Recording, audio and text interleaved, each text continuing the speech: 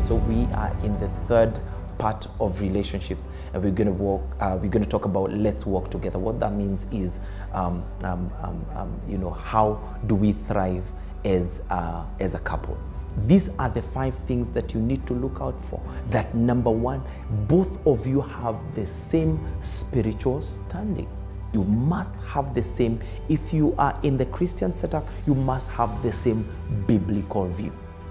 If you are a Muslim, then I, would assume the same. You must have the same uh, uh, standing uh, uh, in terms of in terms of your spiritual uh, uh, spiritual outlook.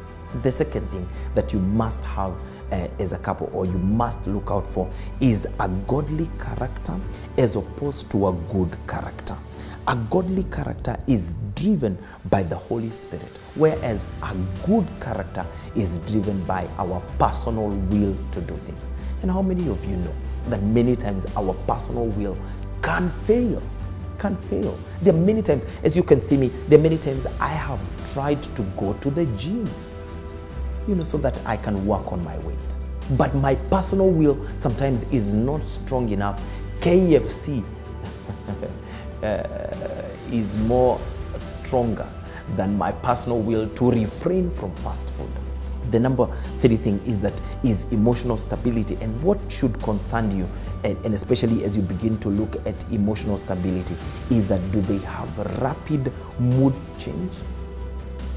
do they change drastically if they do and you are uh, you, you know you find yourself in such a relationship you need to be careful uh, do, they, are, do they are they hypersensitive um, anything small can trigger them into an array of emotions. You need to look out for some of these things so that as you get into a relationship, you get into a healthy uh, uh, relationship uh, as, as, as you grow into it. Unpredictable. This person is unpredictable.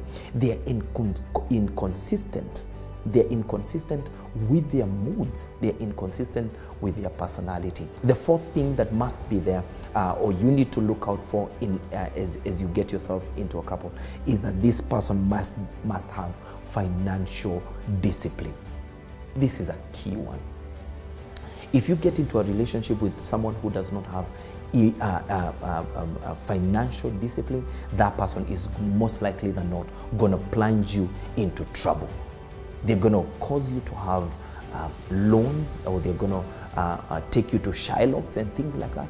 And, and, and, and you probably find yourself in trouble in days to come. So that person must display, must have financial discipline. And the last thing is that that person must be one who honors their parents.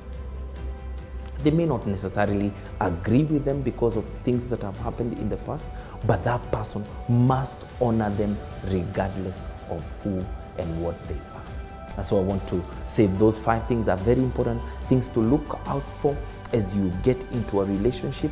The question that has been asked many times is that uh, how do we define relationship?